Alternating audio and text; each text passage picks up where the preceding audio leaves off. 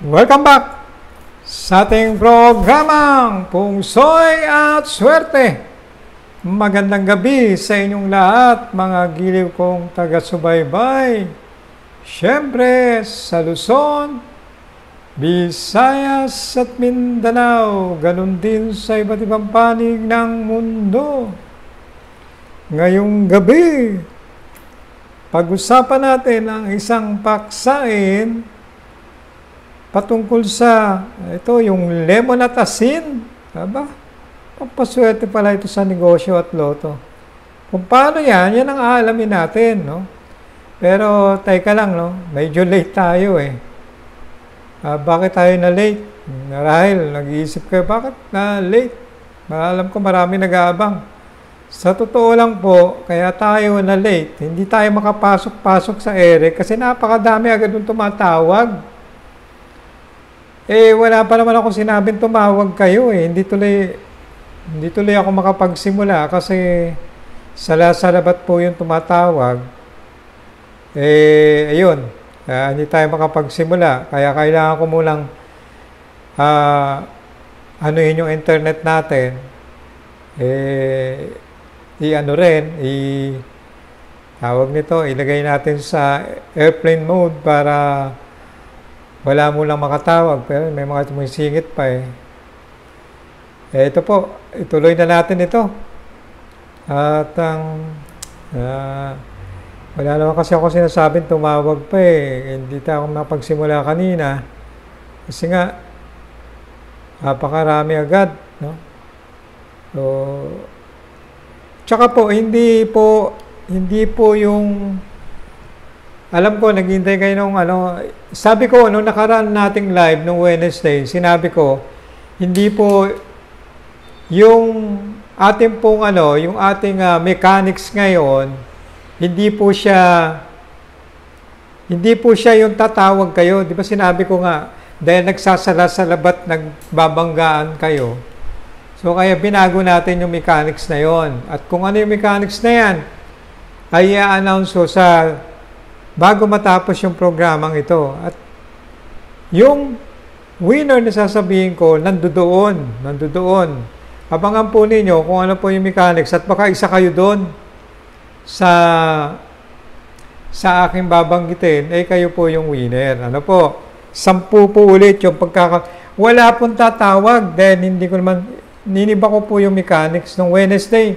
Sinabi ko na po yan na babaguhin natin yung mechanics kasi nga nagbabanggaan yung mga tawag nyo. Nahihirapan din po ako, sabi ko, babaguhin natin yan. At uh, ito na nga, eh, binago na natin, no? Wala na po munang tatawag para makapagsimula naman po ako. Okay po. Nakapanood ba ako? Nakapanood ba ako dyan? Yan na natin. Baka hindi tayo napapanood eh. Silipin ko lang yung aking Facebook, uh, YouTube, kung lumalabas ba ako. Ay, lumalabas naman pala.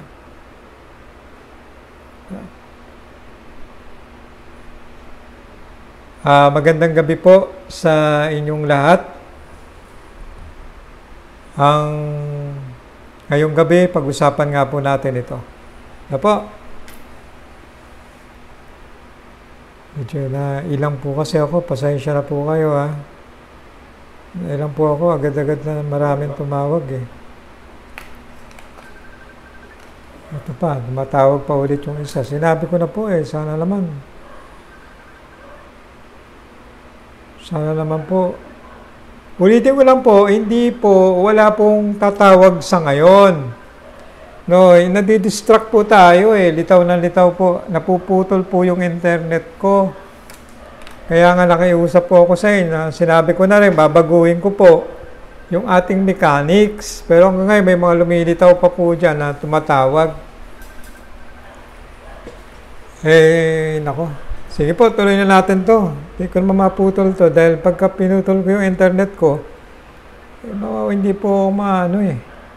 Ito po, Lemon at asin, pwedeng pampaswerte sa negosyo at loto, pwede pala yun. No? Sabi nga, Basta may negosyo, una nating target ang maging maganda at matagumpay. No? Maging maganda at matagumpay. Medyo, ano yung ating mic? Sorry po ah. Ah. Basta mayroong negosyo, siyempre, una natin gusto dyan, yung magtagumpay kayo. Yung magtagumpay, siyempre, gagawin natin ang lahat ng paraan para tumaas ang ating income o kita. No? Walang nagnenegosyo na hindi inaambisyon na tumaas ang income nila o kita. Lahat yan, lahat ng negosyante, o kayo man kung magnenegosyo kayo, siyempre, ang target ninyo, tumaas ang inyong income malakas ang inyong business. Kasi kung magnegosyo ka, hindi yun ang nasa utak mo, eh huwag ka nang magnegosyo. Ituloy natin ito. Magkaroon ng maraming customer, maging matatag at mat- magtagal, syempre, ang negosyo nyo. Paano naman kung sa tingin mo ay hindi umuusad, matumal at walang nangyayari? Nagbukas ka ng negosyo pero matumal at walang nangyayari, ano ba ang gagawin? Ano ba ang gagawin nyo?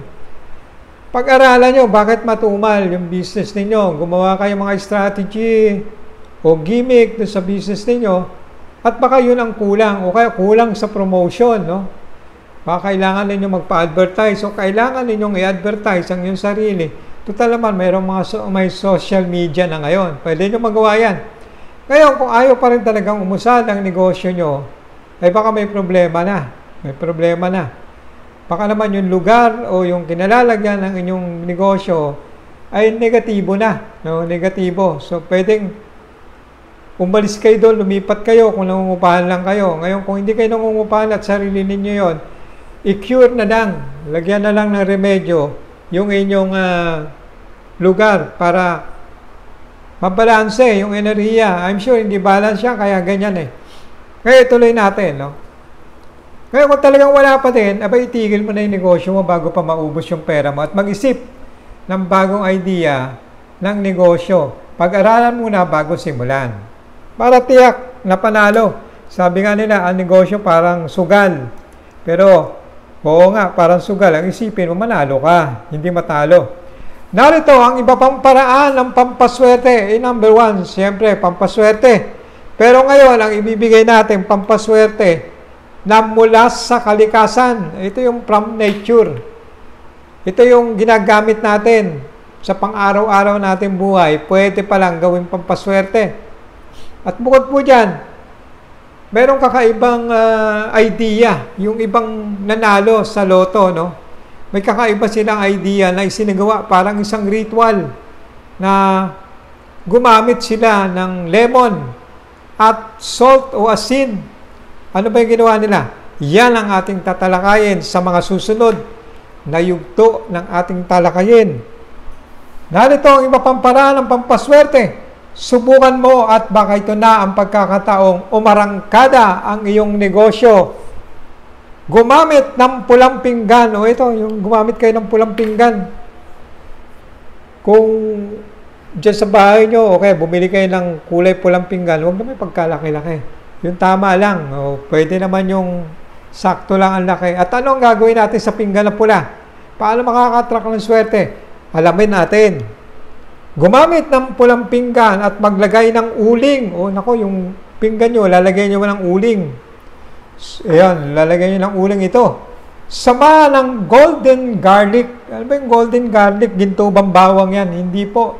Ito po yung yung uh, roasted garlic. Oh, parang Pinirito na ito eh. Kaya naging golden brown, no? parang gano'n ang itsura niyan. Maglagay ng uling sa pulang pinggan at samahan ng golden garlic. Ang uling o charcoal ay umaakit ng positive energy at tunay na maganda sa mga may negosyo.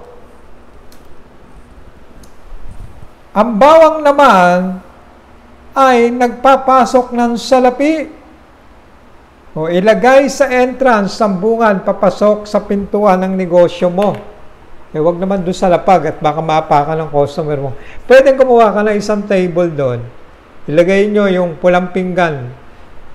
pulang pinggan. Pwede nyo ilagay doon yung tinatawag nating golden garlic o yung golden brown lang yun, hindi ginto, no? Yung pinirito ng garlic yun. Eh. Lagay nyo doon. At haluan nyo yon ng mga tsokolate o candy. Ilagay nyo doon sa bungad ng pinto. Halimbawa, opisina mo, pagpasok, pagpasok sa pinto, pwede sa bandang kanon sa bandang kaliwa, ipwesto ito. Kasi yung iba niyan, pwede rin ilagay yan para sa isang malit na bowl, no? Nakalagay doon. Pero kulay pula. Okay po yun. Para maka-attract siya ng swerte. No po. Pwedeng makatulong, no? Yung, sabi ko nga, ang uling o charcoal ay umakit ng positive energy. Yung bawang naman na inano mo na, yung roasted garlic nga, eh, nagsisilbi naman niya na ng pagpasok ng salapi. At yung pula naman ay simbolo naman yon ng malakas na attraction. No? Kaya pag pinagsama mo yun sa isang lugar, makatutulong yon makakatulong. No? Makakatulong siya. So, yan po ng uh, ating uh, tungkol dyan sa garlic ngayon. Ano po? Uh, ngayon, isunod natin ang uh, isunod natin yung paglalagay naman ng asin. Ito yung paglalagay ng asin sa marami ang nagtatanong sa akin ito dati, yung paglalagay ng asin sa ilalim ng doormat. Okay daw ba 'yon? Eh, yung iba kasi naglalagay ng pera sa ilalim ng doormat, baka mawala. Yung asin po, okay lang yan. Pero yung asin na ilalagay nyo sa ilalim ng doormat, ilagay nyo naman sa isang maliit na plastic, no? Maliit na plastic. Huwag nyo palubuhan yung plastic dahil pag umapak yan sa door at puputok nyo, sasabog lang yung kakalat ng asin nyo. Magtutubig at baka madulas pa yung uh, bisita nyo. Kailangan balutin ng maigi, i-flat at ilagay doon yung salt. No, kasi kung salt lang, pwede magtubig yan, pwede dumulas yung inyong uh, bisita o yung inyong customer. Kaya mas mainam na kung pwede, nakalagay sa isang plastic. Pero para safe kayo, maglagay na lang kayo ng counting salt sa maliit na bottle at ilagay doon sa malapit doon sa inyong uh, bungad ng pinto. Pwede rin po yon. Pero sa doormat kasi medyo pwede delikado po kasi maraming gumagawa. Naglalagay na asin sa ilalim ng doormat. Medyo delikado dahil pag nalusaw yung asin, nagtutubig, pwede makadisgrasya pa malas pag nakadisgrasya, baka kayo pang sumagot ng gastusin pag na-hospital yon. Kaya, kung maglalagay, kaunti lamang, pero dapat sa isang plastic na hindi nakalobo, hindi nakaplat. Ano po? Bagkos, para pagka ganon, makatak siya ng positive, no? Ang paglalagay ng asin sa ilalim ng doormat ay nagbibigay din ng magandang swerte bukod sa inaalis at nagtataboy ng negative energy. Sakali mang may dalang negative energy ang pumapasok dito, yun, yung salt daw, ganun ang gawin nyo. Pero alam nyo, ako may ina-advise dyan eh, yung imbis na gumamit kayo ng salt, kung meron na kayo noon, yung tinatawag nating Jinx Remover Stone, okay na yun eh. Is, iba yung pinagbabara ng Jinx Remover Stone, Ilagay nyo sa pang-spray. Sprayan nyo lang, konti lang, yung doormat. Para pag-apak doon, nung papasok sa inyo, doon pa lang, nare-remove na yung negative energy. No po? Ah, tuloy pa natin ito. Isa pang magagawa ay ang paggamit ng lemon at asin. Ito yung sinasabi natin, nasa title natin. No? Yung lemon at asin, pwede raw makatulong sa swerte sa negosyo at uh, pagtaya sa loto Swerte sa loto. Paano? Yung lemon at salt, pag madaling araw daw, hatiin mo daw isang buong lemon. Ikat mo sa gitna. Ikat mo sa gitna. At lagyan mo lang kaunting salt. Yung kinat mo. Yung isa itabi mo eh. Kalahati lamang yan. Yung isa itabi mo. Pwede mo ilagay sa rep yan kung sakali. No? Dahil pwede mo pang gamitin sa kinabukasan. Konting salt lamang dun sa lemon. At yan po ilalagay nyo sa isang uh, sa isang baso na crystal, parang ganito, no? sa baso. At doon nyo ilalagay. Madaling araw, no? Madaling araw. Pagtsatsagaan nyo yan. Eh. Ngayon, after noon, pag sikat daw ng araw, pag sikat ng araw, ayon doon sa nagsasabi noon to, yun daw, uh, lemon na yon, kumuha ka ng malinis na papel, puti, o pwedeng bond paper, at yun, parang siyang i, igaganon mo yung lemon na yon at magkakaroon ng marka yung uh, white paper na yon o yung bond paper na yun, magkakaroon ng marka. At pagka nagkamarka yan, medyo ikalat mo ng kaunti yung lemon. Pigay mo ng konti yung lemon at igano mo lamang siya, yung piga. Pagpatak nun, pagpatak nun, may makikita ka o i-analisa mo, i-analyze mo kung ano yung imahe ng numerong naroon. Numerong naroon. Pag nakita mo yung numerong naroon, doon ka kumuha ng kombinasyon na tatayaan mo sa loto. Ito ay kwento. Kwento ito nung isang nagwagi, ganun daw ang ginawa niya kaya siya naka-jackpot. Kwento ito. Pwede natin subukan, bakit hindi? Ngayon, pagdating naman dun sa pampaswerte sa negosyo, abay hindi mo naman ito pipigain. O, ganito po yung gagawin mo.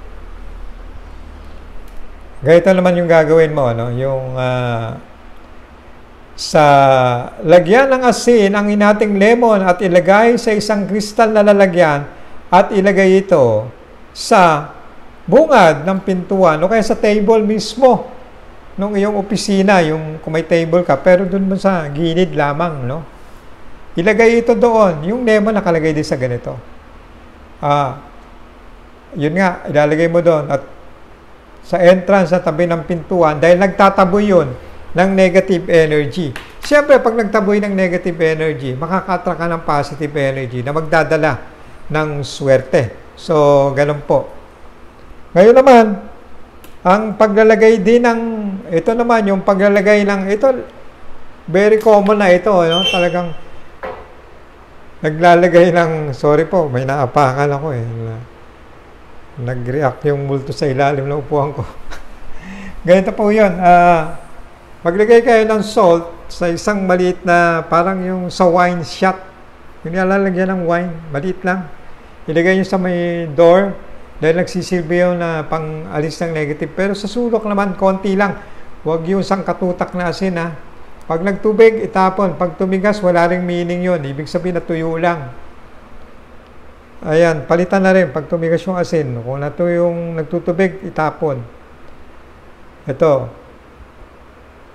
Pantaboy ng negative energy yung. Kung ibig namang maging maganang pasok ng swerte sa pera, maglagay ng isang kutsarang asin sa plastic. O, yan. Yung sinasabi natin kanina. Plastic ang paglagyan. Ito naman, sinasabi rin ito ng iba na nag-practice ng ibang mystic. Maglagay ka lang ng konting salt.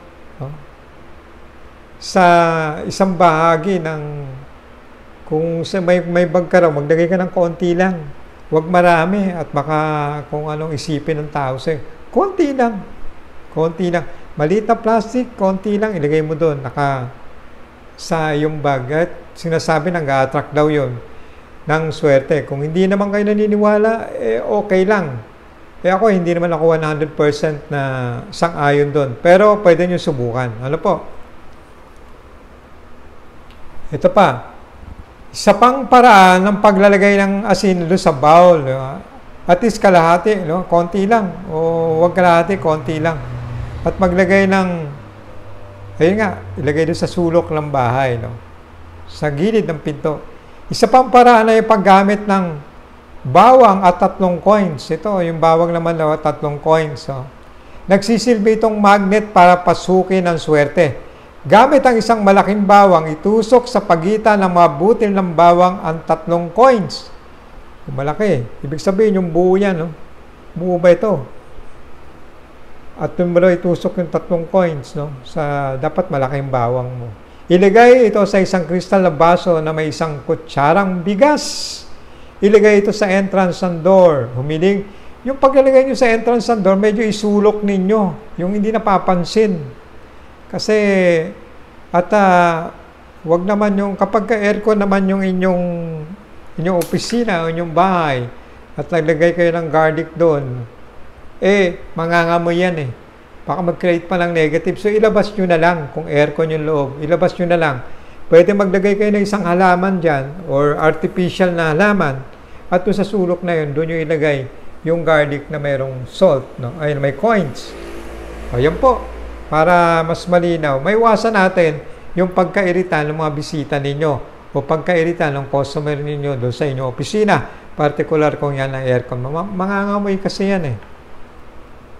Ah, tulad nating madalas sabihin, bagamat yan ang sinasabi nating swerte, o baka mag, uh, pampaswerte, makatulong, ay syempre, gamitin natin ang ating talento, ang sipag at tiyaga at pagpupursige. Syempre, numero unong pananalig sa Panginoon Diyos at panalangin. Yun po, para makamit nyo ang swerte.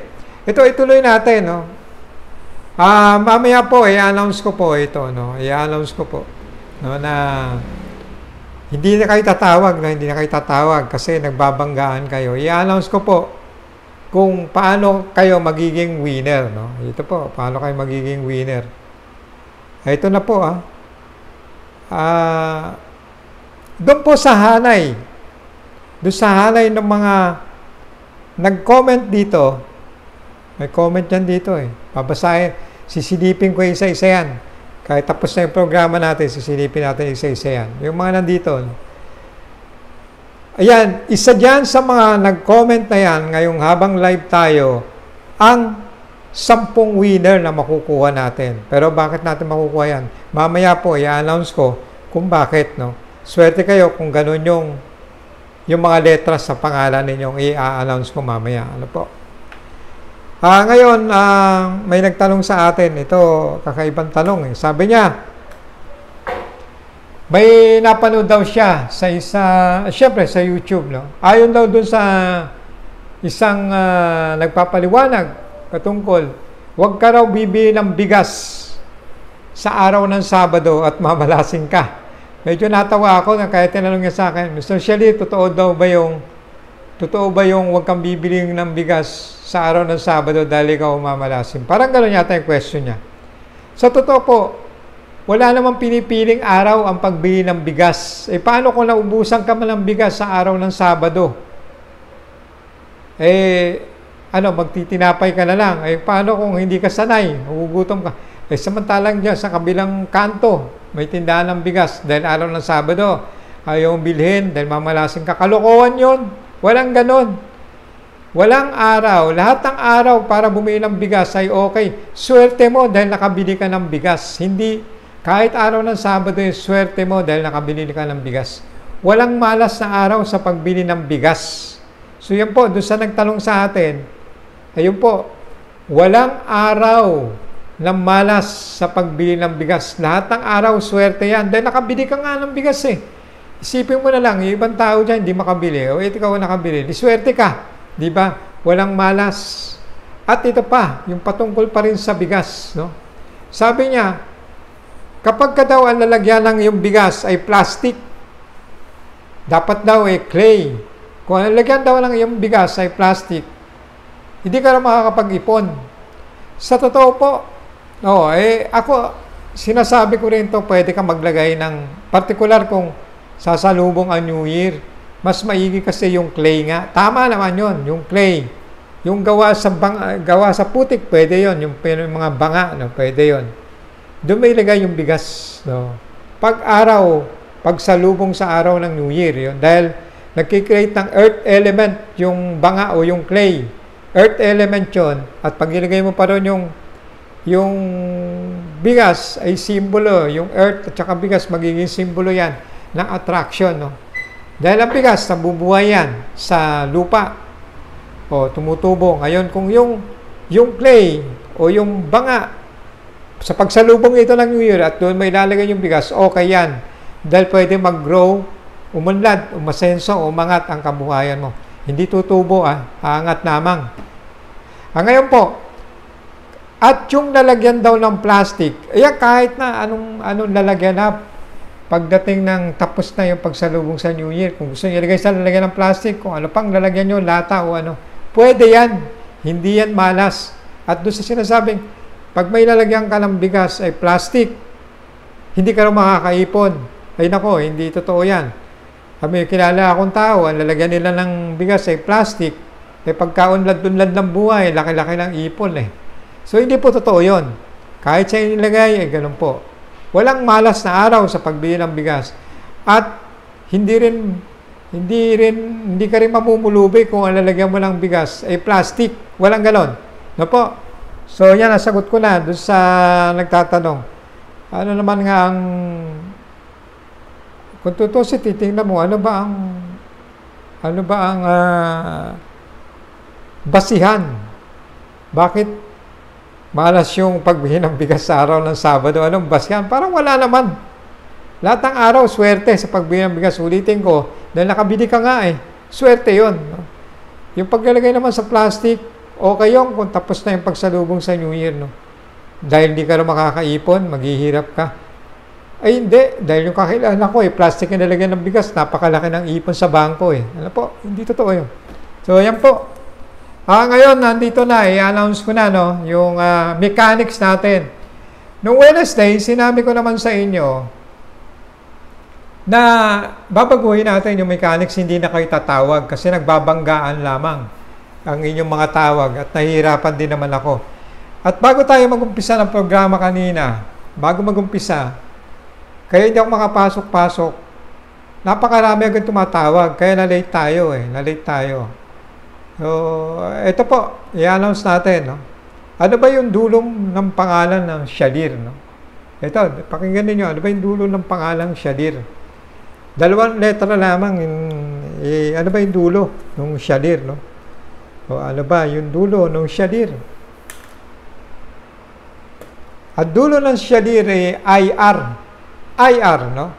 Kaya yung mga nanonood sa atin na nag-comment dito habang live, live tayo na mayroong letrang IR sa dulo ay siya yung winner, no? Sampo. Sampo. Sisilipin natin yan. Sunod-sunod. Eh kung una makita yan, eh panalo ka. Pero kung nasa bandang uli na, ayun, maangat eh. No, yung IR, yung dulo. Uh, sisilipin lang natin ito ngayon. Umaangat, no? Uh, kanina sana may iba kaming gimmick nung anak ko sa winner eh. Pero napurnada eh. Uh, next Monday na lang yon. Ito po. Ah, uh, narito po yung, oh, Marami. Ang bilis sumagot ng iba, oh. Nakakatuwa naman, oh. Nakakatuwa naman. Ang bilis sumagot ng iba. Oh, ito, ah. Yan natin, oh. IR. Yung, ito, ah, ah, ito, hindi natin, yung una, ito, inaangat ko, inaangat ko yung mga comment ninyo. Ah, yung IR, no, yung IR. Yan natin, ah. Inaangat ko. Inaangat natin to, yung sa, yan, ang dami. Uh, kanina kasi nung pagsilip ko, marami, no? Uh, IR. IR. Nikki o IR. Nikki. IR na nakalagay. Hindi naman ni, hindi, o oh, yan. Wala eh. Uh, akala kasi nila yung tanong ko yun na, ano ba ang huling tatlong letra? sa pangalan ko. Kaya nag, nag-message sila ng IR. Hindi po yan. Yung IR po, yung uh, huling letra sa pangalan ninyo, yun po ang winner. No? Silipin natin. Si yung tat, dalawang letra sa huli. O para hindi na rin kayo mahirapan, basta may IR sa inyong pangalan. Sige po, silipin natin. Winner po kayo. Sampu lamang ha, yung may IR sa pangalan. uh, wala pa ako nakikita. Uh, ito, yung, yun nga, uh, yung Crestita, wala, umangat na si Crestita. May IR yun eh, si Crestita. Kaya lang yung nauna yung R tsaka Basta sabi ko nga, may IR o RI, pwede na. Kahit uh, hindi sa huli, pwede na. Uh, So, yan po, i-announce natin ito dahil umangat at patuloy po yung pag-angat eh, no? pag-angat ng mga pangalan. May nasilip ka naman, Jaisler. Meron ka na nakita. Anong pangalan yan? Yung Jaira. Jaira. Jaira. Jaira. Oy, Jaira. Isa ka sa, parang Hyla din to ah. Iba sa totoong pangalan ah. Jaira. Siyempre eh, para makasigurado, eh, po-forward nyo sa amin yung ID nyo, no? screenshot. Ito, yung Jennifer Rivera, ano? Eh, Riv- eh, Jennifer. Tayo, umangat ka si Jennifer. Panalo na ito. Riv- May IR eh. Si ah maangat. Swerte lang yung makikita ko agad, no? Ito, yung Risa Canicon. O, pangalo si Risa Canicon. May RI yan, Canicon.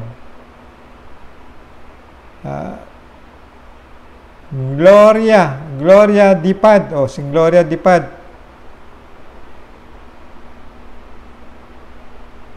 Gloria Dipad. Ah, ito si Marie Daqueso. Marie. O, tandaan nyo pangalan nyo, ha? Si Rita Armada. Rita Armada.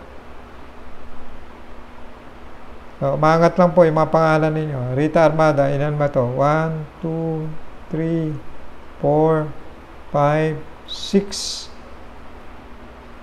Sino pa bang winner natin? Marie. Oops, tumas. Marie. Nawala. Nako, sorry Marie. Tumaas eh. Ah... Ruiz. De Ruiz. De Ruiz. Sa totoong pangalan po ah, ah, Rita, ay si Rita Armada, nasabi na natin. Rita, oo, nakita ko na ito eh. Bear, ay, Nikki, Nikki, ay. Aida, Loren, Ram, Mina, Jess, Emily, Emily Rodriguez. May IR din naman eh. Ilan na to? 1, 2, 3, 4, 5, 6, 7, 8. Oh, dalawa pa. Dalawa pa. Lang. Arisa, ano to? Realisa, ayun. Ay, may ay, uh, Realisa. Realisa.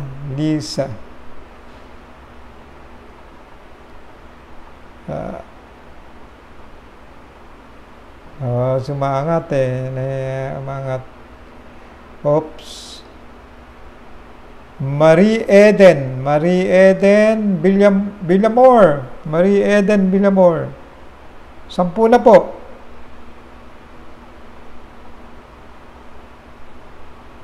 Ito po yung mga nanalo sa atin, no? Yung ah, ang nagwagi po sa atin, yung Jaira, yung Jaira, hindi ako sure, no? Kung itong Jaira po, eh, eh, nickname nyo lang. Ah, basta, eh, kailangan po natin yung totoong pangalan. Yung lahat po ng babanggitin kong pangalan, mag-send po kayo sa akin ng ah, screenshot ng inyong ID. Ano po, para katibayan na yun nga talaga yung pangalan nyo. Marie Eden Villamor. Oh, Isa po kayo sa, ma, sa winner, ma'am. Emily Rodriguez. Realisa. O, si Realisa. Hindi ko nabuo yung pangalan nito eh. Uh, one, two, three, four. Yung Jaira na beer natin. No? Uh, Marie Eden Villamor. Isa. Emily Rodriguez, pangalawa. Re- Realisa, pangatlo. Jaira, apat. Jennifer Rivera, pang lima, Risa Canicon. Pang-anim, Gloria Dipan. Marie Daqueso, Rita Armada, De Ruiz. Ayan po yung mga winner natin. Ha? Sana po, uh, pakisend lang po inyong pang yung complete name, address, contact number, at yung uh, proof o ID na yun talaga ang inyong pangalan. Ano po? So, ayan po. Uh, maraming salamat no, sa inyong panonood. Uh, ngayon, uh, hindi natin mabasa yung, yung iba. Kasi umangat ang umangat eh. Uh, yun po. Yun po pa lang ng karang linggo po, mayroong mga hindi pa nakapag-send sa akin. Yung winner ng naka, nakarang linggo, merong, merong hindi nakapag-send pa ng kanilang address, contact number, no? Pa, paki, paki ano naman po, paki mensahe naman po kami kasi padadala po sa inyo yung napagwagayan ninyo. Doon sa mga nabanggit kong pangalan ngayon, mag-send din po kayo ng inyong address, contact number, nang may padala naman namin yung inyong uh, napagwagyan. Sabi ko nga, lahat po ng winner, no, ang sasagutin nyo lamang yung shipping fee. Kapag ka Metro Manila, 200 pesos po. Kapag ka province po, 300 pesos. Kung kung uh, nasa ibang bansa naman yung nanalo, mangyaring tawagan po ako kasi iba po yung rate nung nung uh, pagpapadala sa inyo. Mangyaring tawagan lamang po ako sa aking numero